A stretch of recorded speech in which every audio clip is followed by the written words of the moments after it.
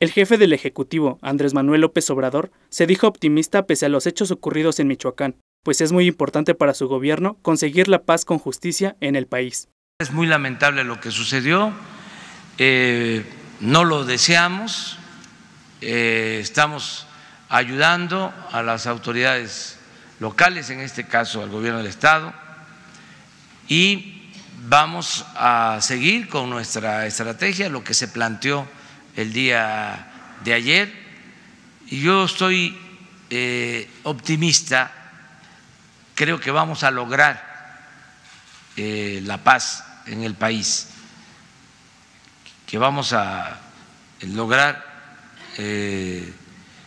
evitar estos hechos violentos, que es un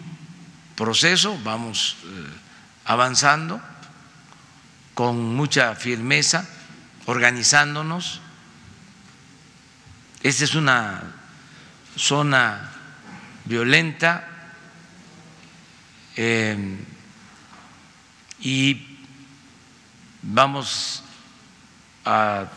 seguir eh, atendiendo las causas que originan esta descomposición social para nosotros eh, es muy importante el que haya bienestar, que eh, se pueda eh, conseguir la paz con justicia y también con eficiencia en la actividad de protección a los ciudadanos con la Guardia Nacional eh, y con buena coordinación con los estados y evitando también el que la autoridad se mezcle con la delincuencia, procurando que no haya contubernio y que las bandas de delincuentes no eh, tengan